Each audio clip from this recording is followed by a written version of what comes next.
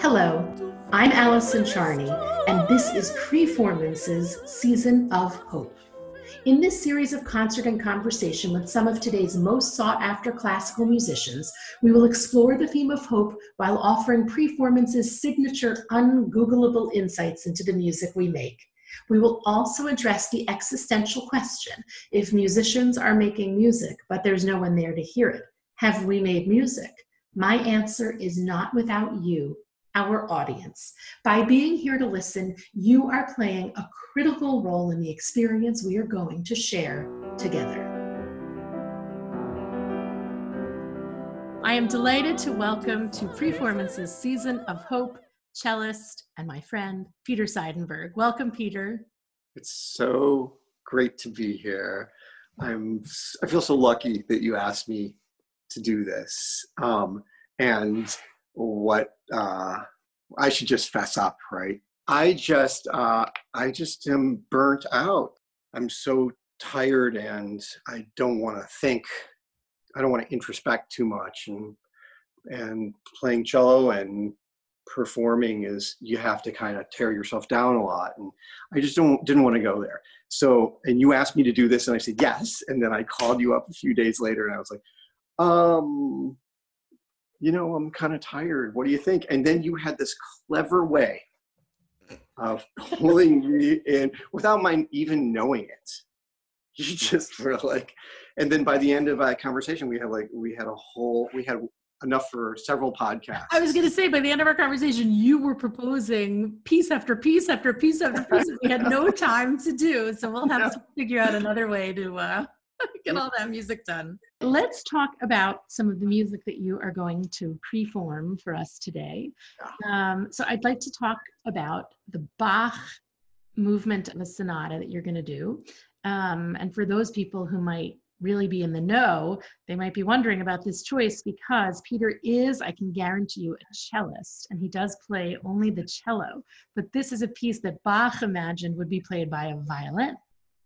Yes, um, he didn't just imagine it. It's actually written on the music. It says violin. I was giving so, you a little leeway, but yeah. One of the ways that I am imagining this word hope in the title of this season, Season of Hope, is that I, I want to give license, I want to give freedom to the artists to perhaps do a piece that they would never, ever have done yeah. before in the real world. Um, a piece that they've just always wished they could play, always hoped they could play, whatever for whatever reason. Um, I was sort of imagining it with singers that you know maybe there's a bass aria that a soprano has already always loved, and why not sing it? Uh, yeah, very similar. But I hadn't really thought of it in terms of you know why not a cellist play a violin part? And I when I say that about soprano and bass, I can make the transposition in my head, but I wonder for the strings. Um, are you playing it in the same register that a violin would play? In other words, is it the same C when you play a C, or are you playing a C an octave lower than where the violin would play? How does that work? Yeah, so I I play um, I play this piece in an octave lower, but it's exactly the same pitches. It's just it's just lowered by one octave, except for there's really a couple of cool things.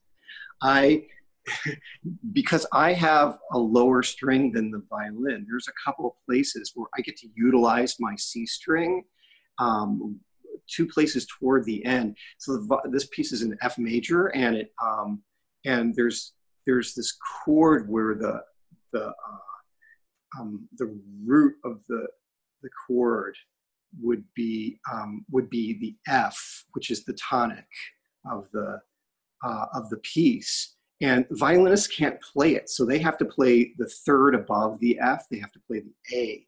So if you can imagine for example the song do re mi from sound of music peter is able to play do. He's able to play in that moment the grounding root note whereas a violinist ends up on mi do re mi and that gives you a slightly different feeling than this grounding connection to the earth moment. yes, I got to play this F. So I, you know, escape down, or I actually don't escape. They have to escape to the to the third of the chord. So to be clear, Bach wrote an A. He wrote an A, so oh my gosh, strike me down. I actually changed JSB's music. Um, I, you know, now this is going out to the world or whoever's listening. I, I hope I don't get my license taken revoked. Yeah, yeah, yeah your music license revoked. For all we know, Bach would be like many of the living composers I know you work with frequently and say, "Cool, do the F." Yeah, do the F. yeah, um, and then at the very end, the penultimate chord, right, be- right before the end, um, I get to play um, for this dominant chord. I get to play low C, and violinists can't do that, and it just ooh, it's juicy, right? right before the end. It's so the fun. dominant chord is the is a chord that's formed on the fifth scale degree. So that would be like do re mi fa so if we're still sticking with the uh, sound of music as a guide. Mm-hmm. Uh, and so in F major, I assume we're still in F major. The dominant chord would be based on a C. C, um, there it is. There so it is. you know what?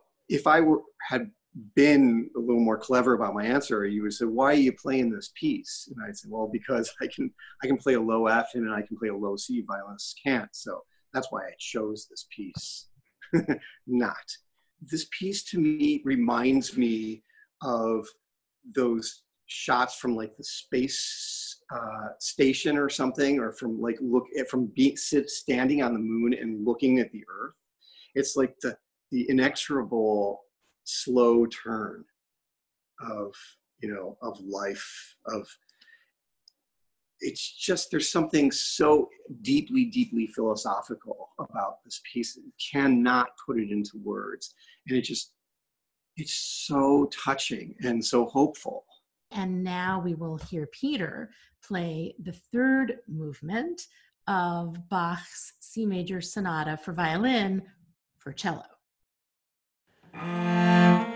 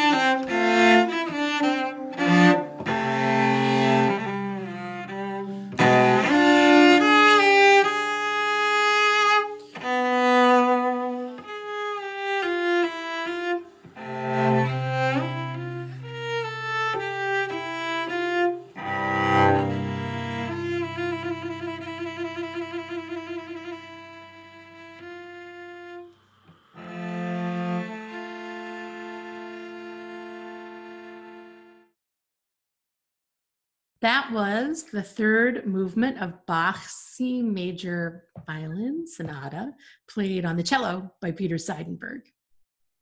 So let's talk about some grand opera.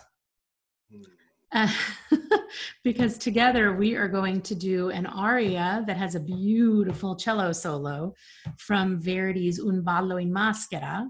And this is the aria Morrò ma prima in grazia. And um, one of the things that I want to talk about is the fact that you wanted to be looking at while you played this, not the cello part only, but the full score, or well, the piano vocal score. Um, in other words, normally in an orchestra situation, the orchestra members are looking at really just in their own little world. They're just seeing their own notes. And maybe that'll change in the land of iPads, putting music on iPads, but it's to reduce the number of pages that the instrumentalists have to have on their stands because the stand can only hold so many pages of music. And it's really tricky to take your hand off your instrument to turn pages. Um, but I've always been astonished to realize that it is possible, therefore, to play an entire opera and not have a clue what a single word is in the opera or who's singing at any given time, or even if you're a cellist, what the trumpet is playing or what the timpani is doing, or there's no way to know what else is going on other than listening in the moment, which is certainly a good thing to do. Um, but Peter, you really wanted for this to be able to, I assume, to see my part go by and to see the words. And I wonder if I mean, you talk about that. Cello parts are all secrets, you know, and the score is the teacher's manual, as it were. And I, uh, ever since I started using my iPad, I uh, I realized that playing off the score made me a much more reliable an informed musician and that I could do so much more. I could I could be so much more collaborative and supportive. Of course, uh, in a piece like this, you are the star, and I'm uh, accompanying you. I'm I'm uh, you know I'm as you and I talked about it before. I'm the conscience you know, or the the I'm I was thinking of you know like the Greek chorus, uh, and um, so. You know, Peter, in this aria, I don't, as the singer, I don't hear the cello as being a support system, but as being, I mean, I think just that, like the inner truth and the inner monologue and the the impetus for the emotion. Mm. Maybe that's just the way you play it. oh, I was about to say, uh oh, we maybe we should re-record this. Everybody understands. Like one of the challenges of all of this is that we can't, unfortunately, play it at the same time. You can't play and I can't sing at the same time because of all these latency issues. There is no making synchronized music at the same time, the same thing um, in this platform. It just it just doesn't happen. Uh, it can't happen. But, so we have to each of us take a turn and right. and have each other's recorded music in our ear. It's just a whole new a whole i was so um but i'm lucky in this situation for this aria because i got to hear you sing it and i studied it uh, the, and I studied the words and I studied the way you you interpreted and presented the text, and it gave me such a deeper insight into into how to play it. You know i have to say there's one part of this so you know again it is pre-recorded um but there's one part that um on the on the word spain talama i take so much time in an inappropriate way and the reason for it is because i was listening to craig i misunderstood when i should come in. And so i came in too early and i could hear that craig was not playing yet. And so I just held on on so I could catch up. I know exactly what you're talking about. And it, gives it a kind of longing the way you it's like uh uh it's like an appoggiatura in a way except for you know it's because you start before the bar line it's like the harmony it's like a suspension yeah uh, pre-suspension, as it were. Yeah, I mean, again, it, it, really, really is cool. It's very tenutoed, like you know. I may fun may, to play off of that. I may well get my musician license revoked for that moment. can you tell me a little bit uh, about the about the, the text in the, the context of the text? Um, so this aria is sung by a wife to her very powerful husband, saying, "I understand that you have sentenced me to death." You know the way it goes in a marriage. right, divorce, no, death. Death, you know, no problem. That Jack, Jack Benny thing. Uh, yeah, exactly. And I will die, morro. I will accept this fate, but not before I hug my son, my only son, one more time. And you can deny me this favor, this deep request as a spouse, but surely you cannot deny me the mother of your child. You know, it actually, when I think about it right now, and I've never thought about this before, there's something biblical about the text. She says, My son, my only son. And God says to Abraham when he asks for the sacrifice of Isaac, the binding of Isaac, he says, Take your son, your only son, um, which is a moment of great mm. um, scholarly questioning, I think. Um, but that line about my son, my l'unico figlio, my only son, um, that always gets me. Yeah like because just imagine and it is very easy for me to imagine the bond of a mother to a son since i have two but i could imagine having only one that that bond is is fierce fierce yes indeed so wow. why don't we together with the brilliant pianist craig ketter yeah the genius that? craig genius craig ketter um, hashtag genius. Um, why don't we do now Morrò ma prima in grazia from Un ballo in maschera by Giuseppe Verdi.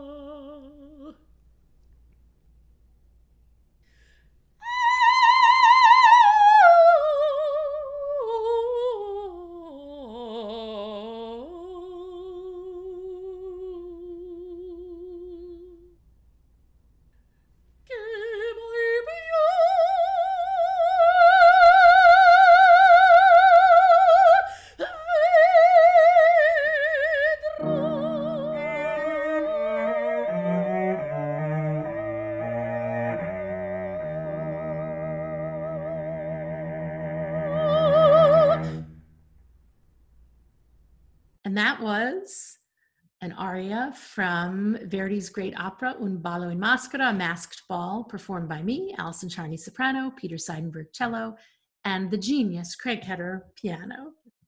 So let's talk about this beautiful piece, Prayer, by Ernest Bloch. This happens to be a great piece of music that that happens to be written for cello. You know what I mean? It's like, uh, and and maybe one of Bloch's greatest pieces. You know, probably top top five of his pieces. It's just it's extremely well known from as from his you know body of work, and there's a great reason uh, because uh, it's so full of fantasy and imagination and um, and soul and and liturgy Yes. Right. I, I, it's true. But this is theme throughout this program. Interesting. We knew that. Um, planned it that way. I feel like when you're a musician, your religion is music. So even if you aren't a practicing religious person, you understand the the religio- religiosity of some of these characters. In the Bach that we just heard, that that world turning. I feel like I feel so spiritual when I when, when I when I think of that.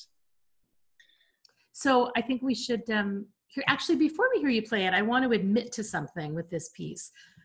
So Peter first recorded this piece thinking that he would be playing it as a solo cello piece, even though it's written for cello and piano. And then the fabulous Craig Ketter said, "Well, I can try to play it too. And genius, so the Craig. Genius, Craig Ketter genius. Um, I actually were joking, but we mean it. yes, I mean, yeah. So so so everyone, imagine that I played this piece by myself uh, uh, a couple months ago because that's why I had the beard. Not imagining. Oh yes, we should make yeah. that that you had more hair on your face. Yeah. yeah, and less hair on my head. Like it just, I just moved everything upside down and um, it, and I just played it thinking, didn't thinking think at all about a piano part, and then go ahead. And then Craig just, you know, put his headphones on and had Peter. To be fair, I sent him the video also so he could watch Peter at the same time as he listened to Peter, which is really important because you can see the bow change, you can see the shift of the strings, you can see the fingers on the strings making the note changes, and that really helps understand the timing of the piece as well as listening to it. And Craig was able to play the piano part that Bloch wrote perfectly in sync with Peter. Yeah. So this was, I mean, this is how we're doing all music these days, but this was really not meant to be. Um, until Craig put his genius on it. And so now uh, I cannot wait for you all to hear Peter Seidenberg, cellist, and Craig Ketter, pianist, play Ernest Bloch's Prayer.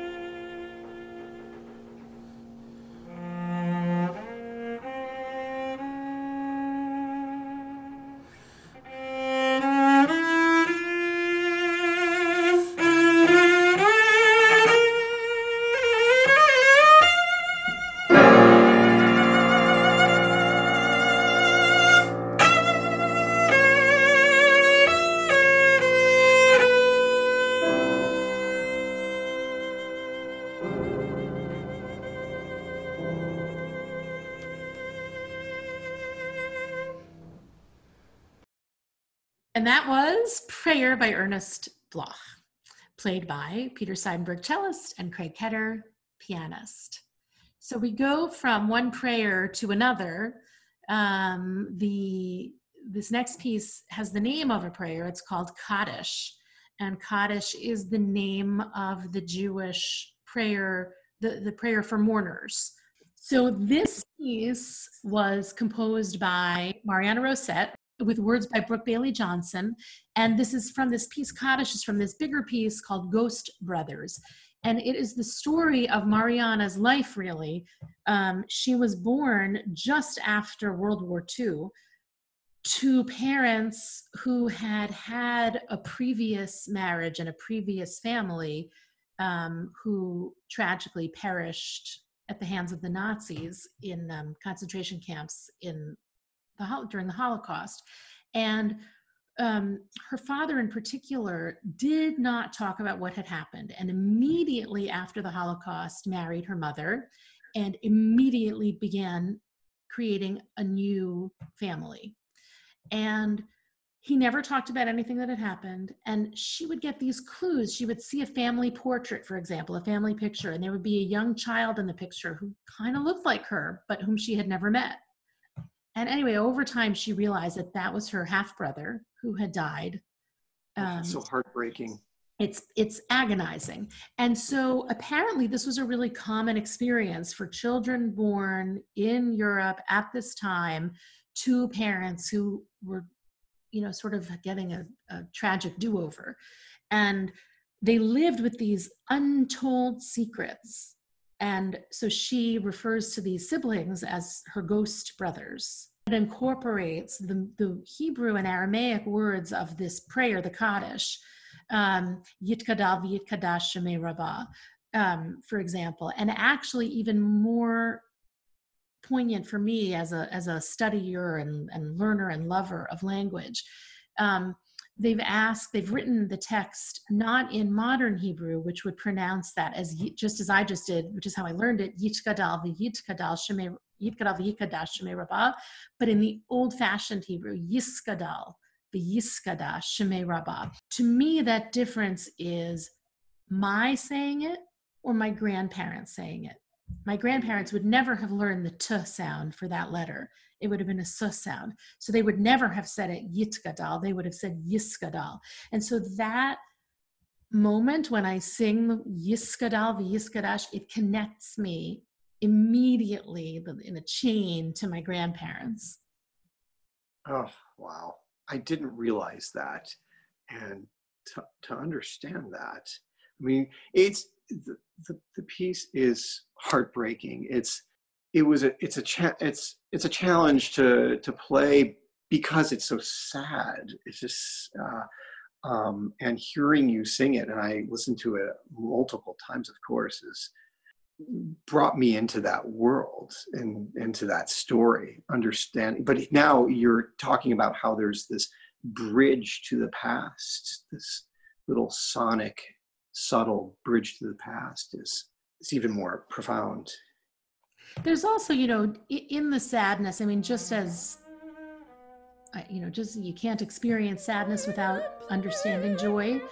Um and there is there is hope and yeah like, there's even playfulness. as well there's, yeah. like a little some playful playing eh, um yeah that goes on in in, in the piece it's, it's that's true to the composer's feeling about her life that you know there was this horrible grief that was sort of underlying everything and yet there was joy and happiness and let's face it for her parents there was a new beginning I mean, they were able to create again and create life and make a future.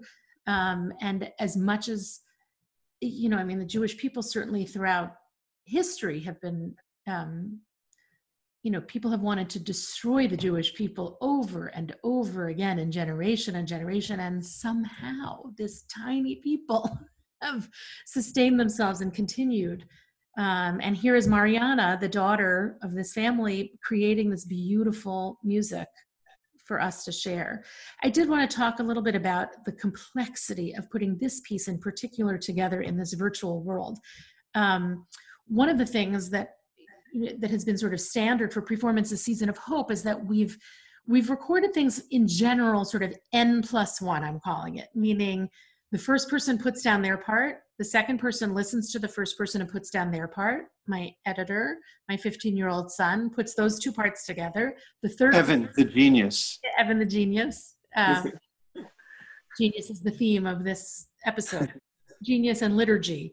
Uh, so and then the third person will listen to the first person and the second person together. And then we put person two and person three together and that goes back to person one who now gets to listen to person two and person three, and then we get person one back in.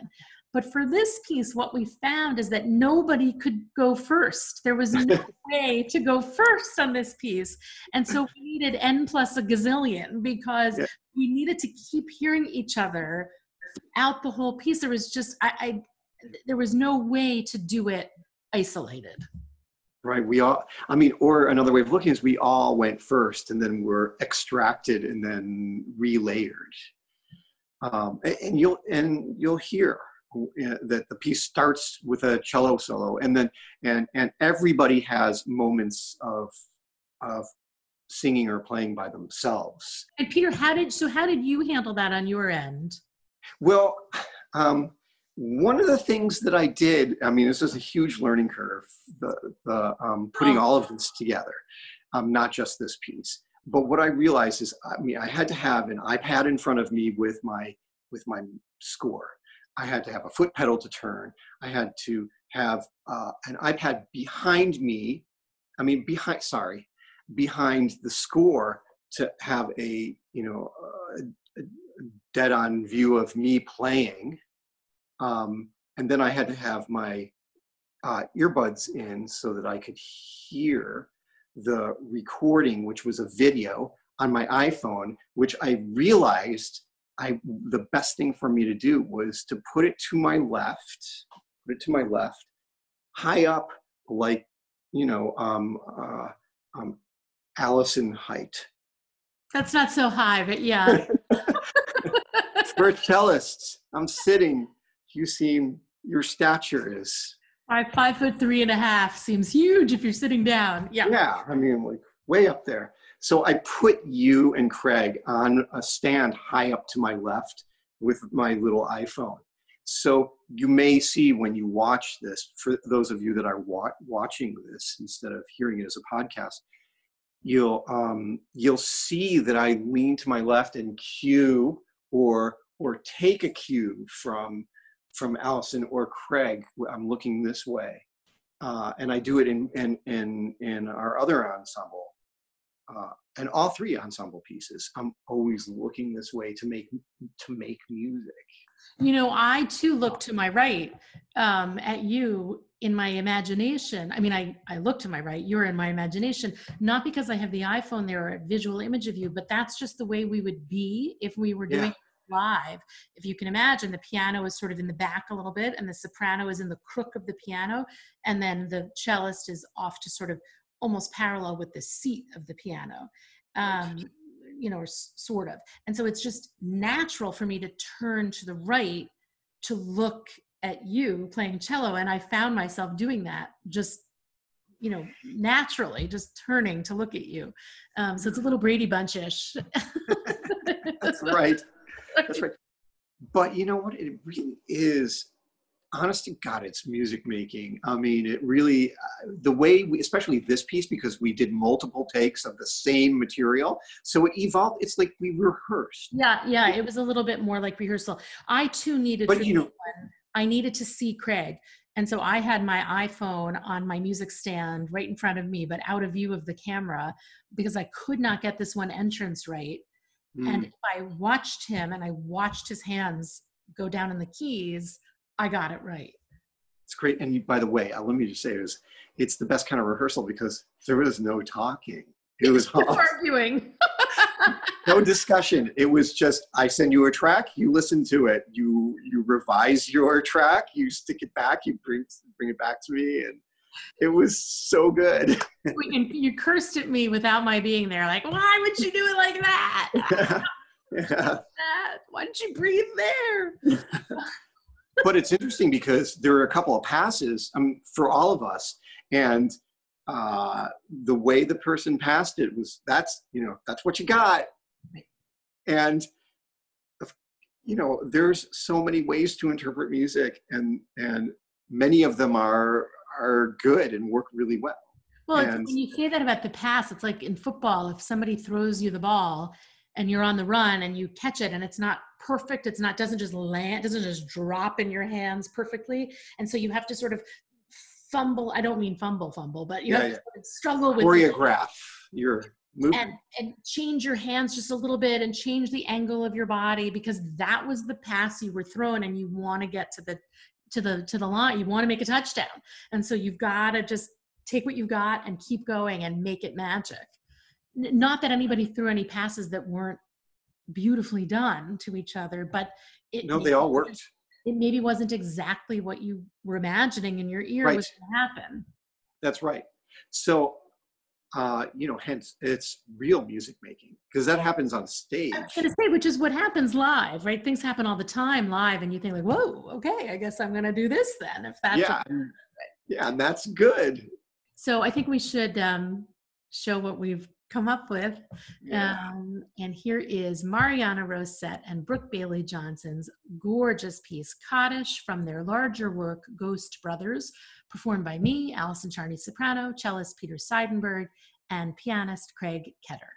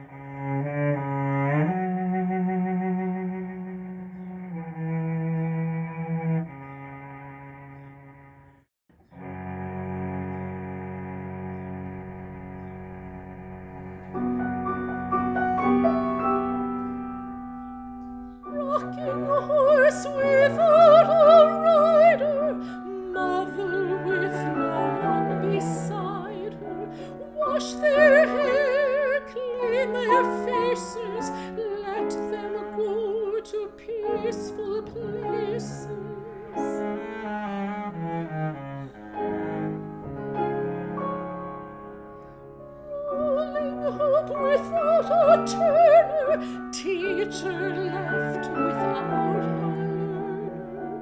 Wash their hair, clean their faces,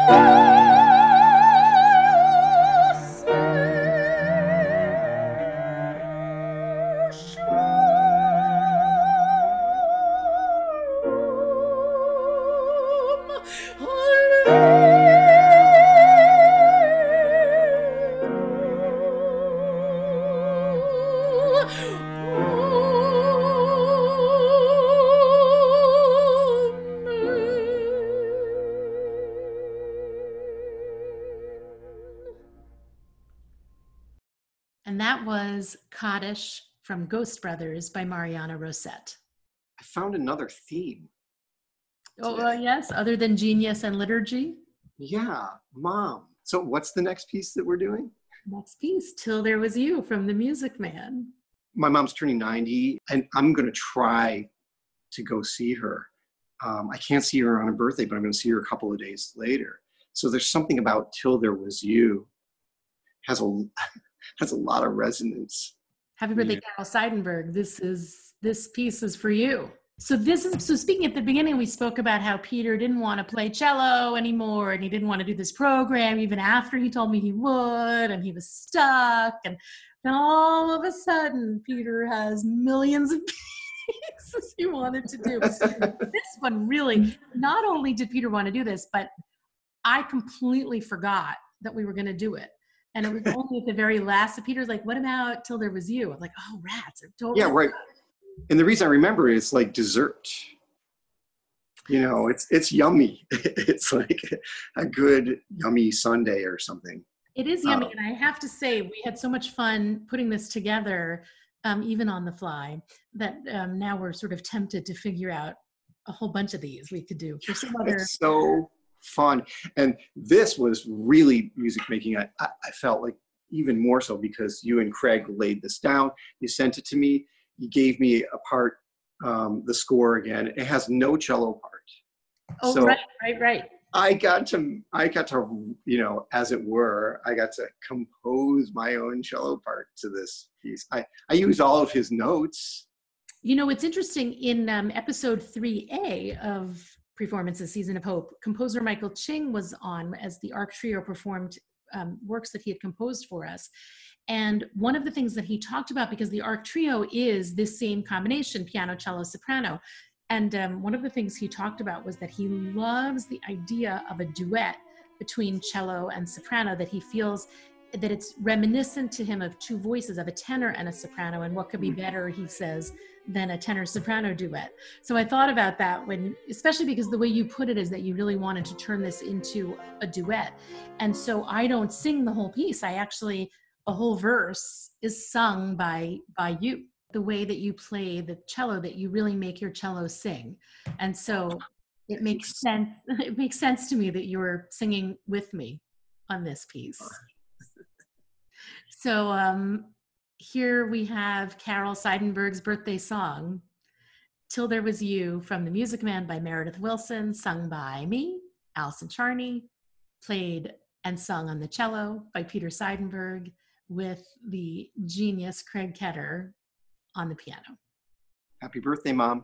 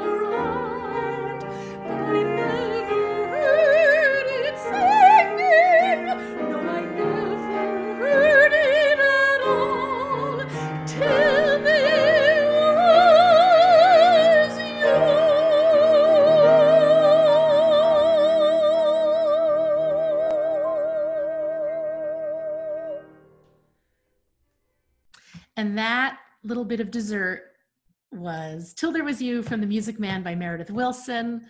Peter, I am so grateful to you for being, for getting out of yourself and deciding that you were going to play cello again and joining me on Season of Hope. Um, you're one of my favorite guests at Merkin Hall when Performances is there, and um, I'm so happy that you're with me for this new COVID pivot into the virtual world. I really I feel lucky you twisted my arm, and you've inspired me as always. Every time we we get together and, and make music, I always feel like I want to do more and more and more. So uh, you got me going. Um, here's to getting going. That's hope, right? That's that's a little little personal hope. Yeah, I, I think we need to grab onto whatever whatever hope we can find. Uh, so my hope is that we get to do this together in person soon. As I've been saying to everybody who comes on this show, next time in person. Thank you, Peter. Thank you. Bye bye.